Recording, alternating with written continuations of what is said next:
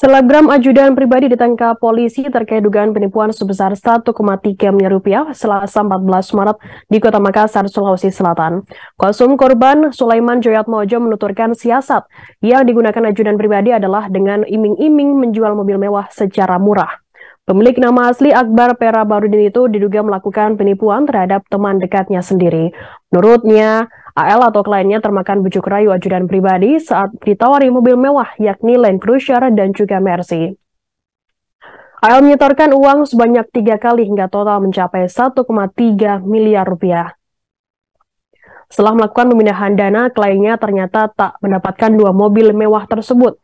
Pihaknya juga telah melakukan somasi sebanyak tiga kali, namun belum ada itikat baik dari ajudan pribadi.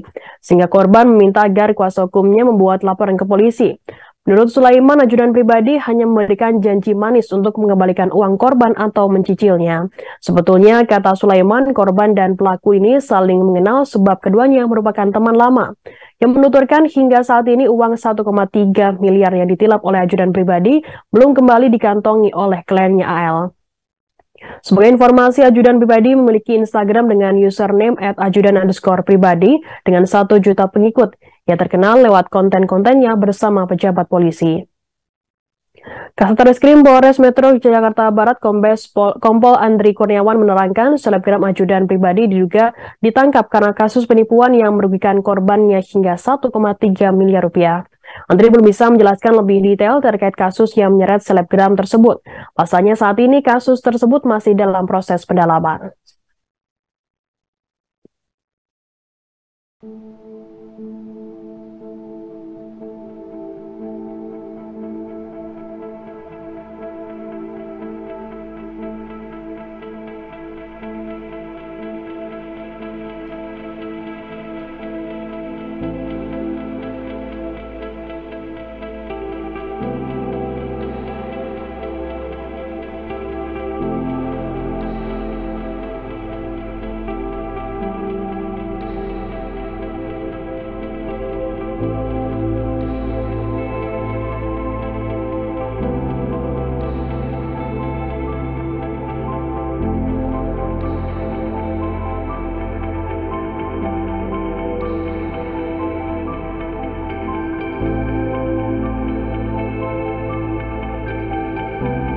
Terima kasih sudah nonton.